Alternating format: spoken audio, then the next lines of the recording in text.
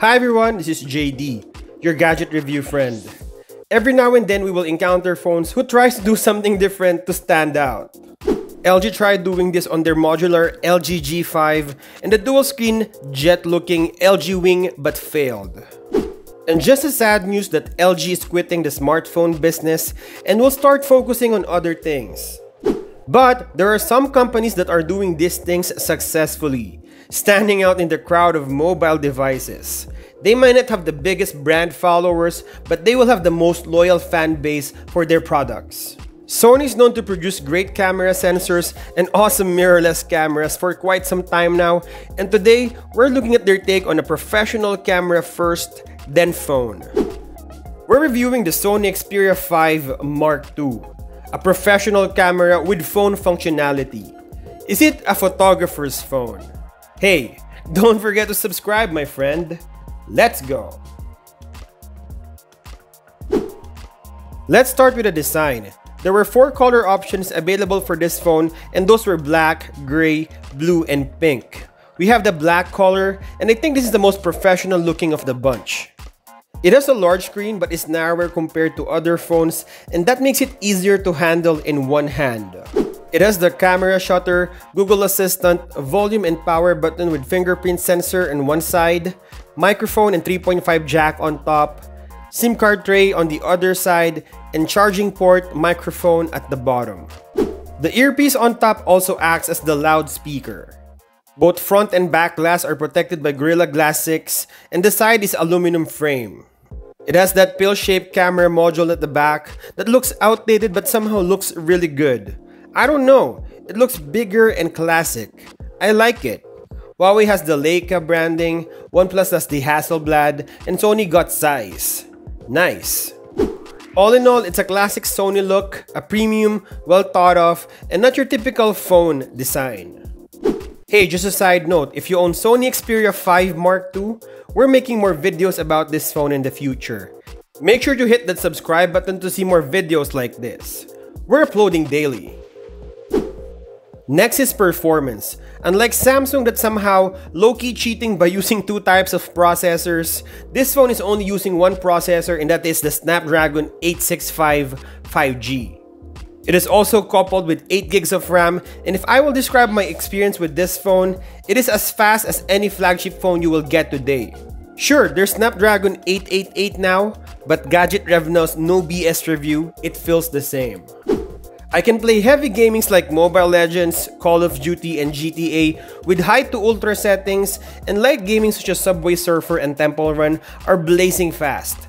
I have no issue opening apps, streaming services, and using it for phone calls, text, and camera use. It has a generous 128 to 256 gigs of storage that is perfect for 4K video recording and is expandable through micro SD card up to 1 terabyte. It also has the fast UFS 3.0 storage for faster read and write. Do you need a lot of storage?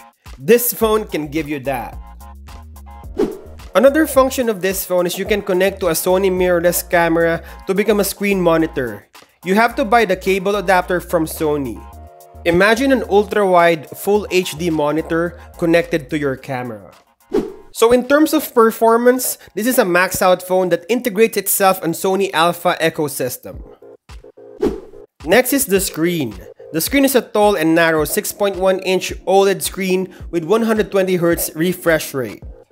The colors are punchy, saturated, and has deep blacks. You don't have screen bleeding on the side, and it's just a joy to watch ultra-wide anamorphic format videos and play games on this phone.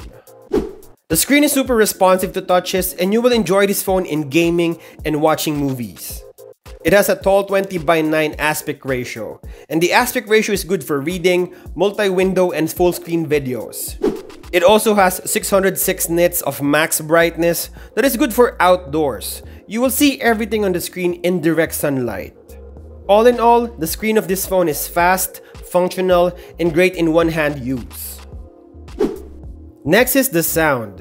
Sony made two things right and then added another perk. We were given a loud front-facing stereo speakers that also acts as the earpiece and then the 3.5 jack on top. They also added a dynamic vibration system so the phone vibrates when you're playing music or just anything. It makes the experience more immersive. I tested this phone with my Pixel 3 XL and here's the test.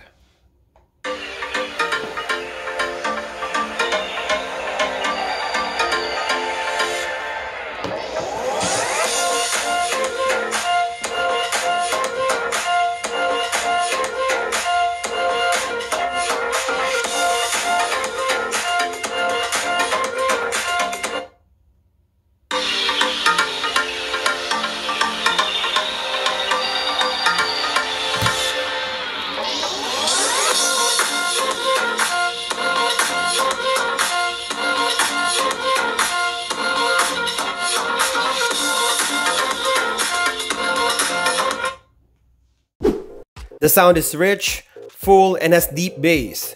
You will love it. Next up is the battery. The battery life of this phone is solid. It has 4000 mAh that will last you all day of use. I was able to play 2 hours of solid gaming, 1 Netflix movie, 2 hours of music, another hour for social media, and occasional use for calls, text, and camera use, and still have more than 20% at the end of the day. The battery can easily last you 2 days of moderate usage. With the included 18 watts charger, I was able to charge the phone from 0 to 50% in 30 minutes. Sadly, it doesn't support wireless charging. And for our last review, the camera. It's like the iPhone 12's triple 12 megapixel Perfecta. It consists of 12 megapixel main, 12 megapixel ultra wide, and 12 megapixel telephoto. It's a consistent 12 megapixel across all sensors and all three are useful too. I hope every phone manufacturers learn from Apple and Sony instead of putting macro lenses and time of flight sensors. The photos are great, neutral toned, and sharp. Auto mode isn't the most exciting as it will produce a so-so image. I will do more side-by-side -side camera comparison videos of this phone and other flagship phones, so please subscribe to this channel if you want to see more of it. And I would also like to apologize as I will do all the testings in auto mode. In pro mode, it's a different story. If you own a Sony mirrorless camera before, pro camera is familiar. It gives you control of everything from exposure to aperture. Cinema Pro is also here and this gives you flexibility on applying your LUTs later as you can set your videos to flat. You can adjust color grading later. It can shoot 4K up to 60 and 120 FPS. Videos are great. So what is Gadget Rev verdict? Sony created a flagship phone in Xperia 5 Mark II. There's no question with everything they put into the phone. Now that it's out of the question, Sony gave us more of what they can offer. A great screen, a different form factor, and a full manual control over the camera. Unlike other reviewers that's criticizing this phone and asking Sony to compete with the mainstream, I feel different. I like the look and identity of the Sony Xperia 5 Mark II. It is well thought of, promising, and just a different breed. It might not be for everyone especially for those who doesn't know how to manually control the camera, but there's a very specific group of people Sony is targeting and those are photographers.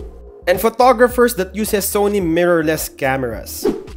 With a camera function similar to a Sony mirrorless and the integration of the phone to these Sony cameras, it feels like Sony is inviting the Sony Alpha fanboys to patronize even the phone like what we did to their mirrorless cameras.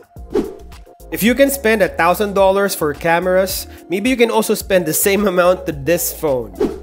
At the end of the day, this phone is offering us an experience. The fulfillment of photography is not the result, but the process of making it, and that's the manual control. And Sony is offering us that experience.